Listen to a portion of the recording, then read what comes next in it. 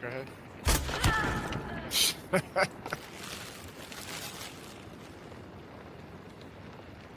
so now she has a choice to make: res those two, or continue to camp me, or burn them. nice shot, dude. Wow. Is that all of them? Unless the green guy's back.